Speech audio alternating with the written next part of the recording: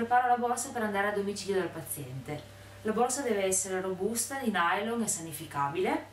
All'interno andiamo a mettere i DPI che utilizzerò dal paziente, quindi i copriscarpe, la cuffia, doppio paio di guanti usa e getta,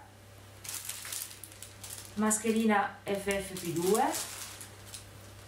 mascherina per il paziente e per il caregiver nel caso non ce l'avessero già, visiera o occhiali,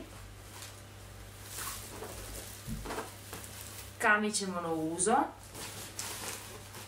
sacchetto in cui andremo a riporre i DPI da buttare, gel igienizzante per mani, alcol,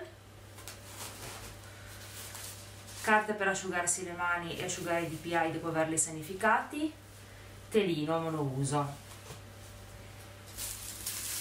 Vado invece a comporre quella che è la borsa per andare a letto del paziente in cui metto gli strumenti utili a letto, quindi il saturimetro, il termometro,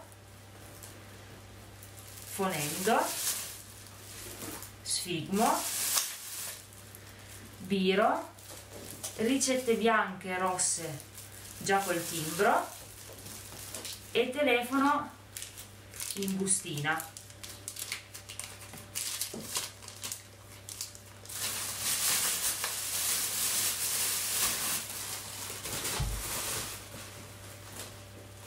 La borsa è pronta.